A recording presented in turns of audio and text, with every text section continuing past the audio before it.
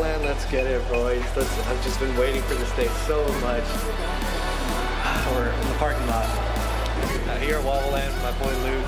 Yeah. Literally last minute, we, we, we, don't even. Yeah, dude. Fuck yeah, bro. The walk. Going back. Tickets, tickets. Nah. Oh, oh shit, oh shit. Got them boys.